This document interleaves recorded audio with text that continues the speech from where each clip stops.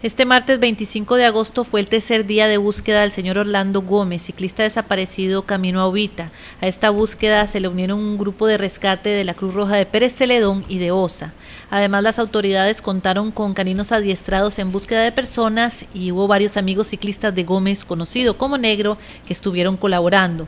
Los equipos de búsqueda salieron desde horas tempranas de la mañana de este martes y otros pocos después con equipo especializado para buscar en las zonas del recorrido más quebradas. Sí, bueno, estamos acá desde horas tempranas de la mañana eh, con unos eh, personal de Cruz Roja, unos 10 personas de Cruz Roja y gente del pueblo también que han unido a la búsqueda del señor acá. En un total de unas 50, 55 personas han participado durante la búsqueda todo el día.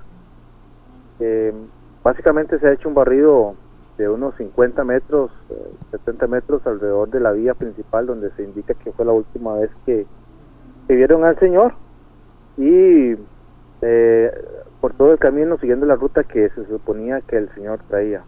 Unas 50 personas entre lugareños, amigos y grupos de rescate se reunieron en la zona con la convicción de encontrarlo, pero no lo lograron. Según los ciclistas, hablaron con un vecino de la ruta que habló con don Orlando, indicando aparentemente que tenía un dolor en una pierna y andaba la bicicleta mal de frenos.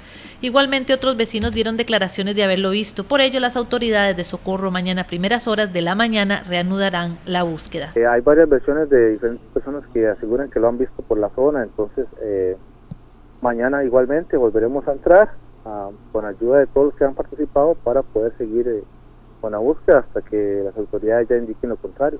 Eh, empezamos a empezar tempranito, eh, más tempranito mejor, entonces a las primeras horas de la mañana ya estaría entrando el grupo a buscarlo. Recuerde, si tiene alguna información sobre el señor Orlando Gómez, puede llamar al 911.